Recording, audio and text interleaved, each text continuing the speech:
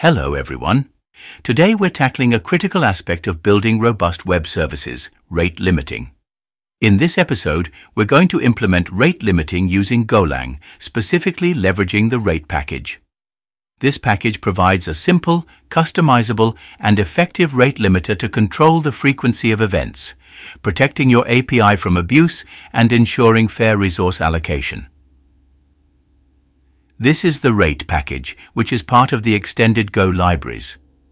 As you can see, it provides tools to work with rate limiters based on the token bucket algorithm.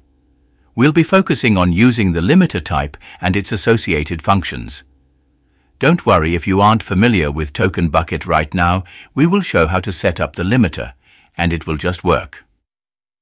Let's start by looking at the initial HTTP setup that we have done so far. Here I have the setup for the initial HTTP server. We're using the standard net HTTP package. In the main function, we create a new MUX using http.NewServeMux. This acts as a request router. Then, we register the greet handler for the root endpoint. Finally, we start the HTTP server on port 8080 using http.listenandserve. If the server fails to start, we log the error and exit.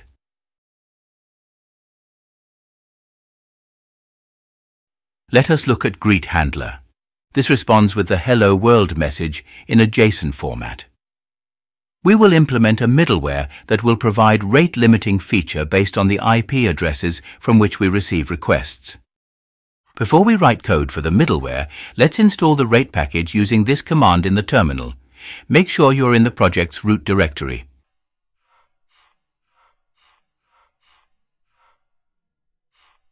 Okay, so now we get to the meat of this video. Our goal is to create a rate limiter that will sit in front of the greet handler or any API handler. Now let's create a middleware function to handle the rate limiting. The middleware will accept the next handler in the chain. A rate limit that represents the number of requests allowed per second.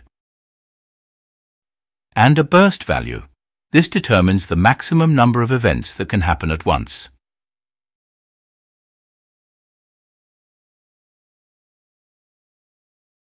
It returns an HTTP handler that wraps the rate limiting logic. Let's add the middleware to all the APIs the server can serve.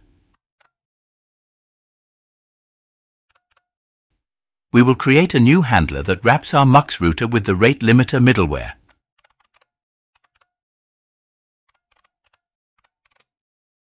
Let's put the rate limit as two requests per second.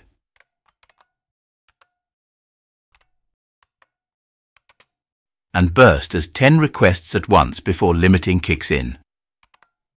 To make use of the new handler, we will replace MUX in listen and serve. Let's get back to the middleware implementation.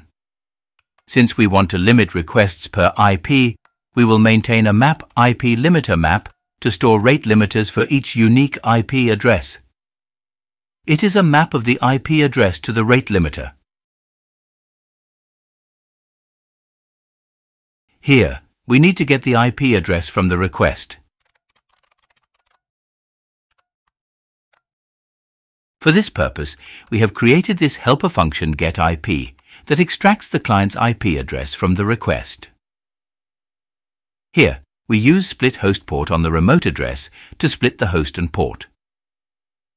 If there's an error, we log it and return an empty string. Otherwise, we return the extracted IP address. Now in the middleware, we get the client's IP address using getIP. We pass the HTTP request to this function. Next, we are going to create a limiter for the IP if it does not exist. First, we check if a rate limiter exists for this IP in the map IP limiter map. If not, we create a new rate limiter with the provided rate limit and burst size.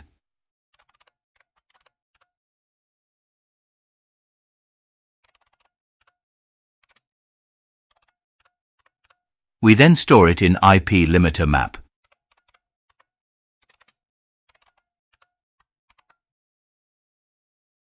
Now comes the rate limiting logic.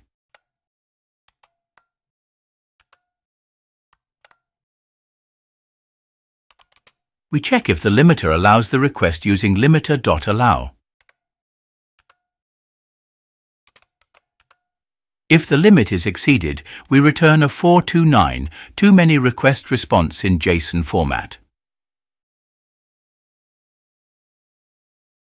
Finally, if the request is allowed, we call next.serve HTTP to forward the request to the actual handler.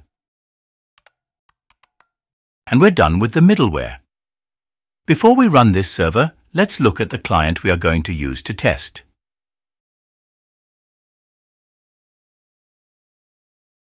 We will be sending 50 requests at an interval of 100 milliseconds. Here, we print the status code of each request. Let's run the server first. Now we will run the client.